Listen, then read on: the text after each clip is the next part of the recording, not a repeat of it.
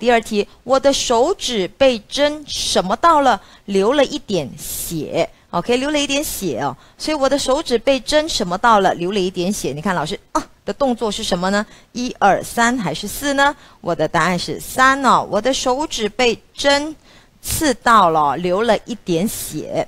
OK，这是什么呢？利利什么呢？我们应该利好好的利用时间啊，好好的呃利用时间学习一些新的东西，或读书或温习功课。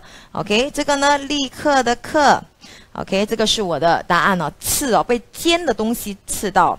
好，这个是别人。OK，好，这是立刻刺和别哦。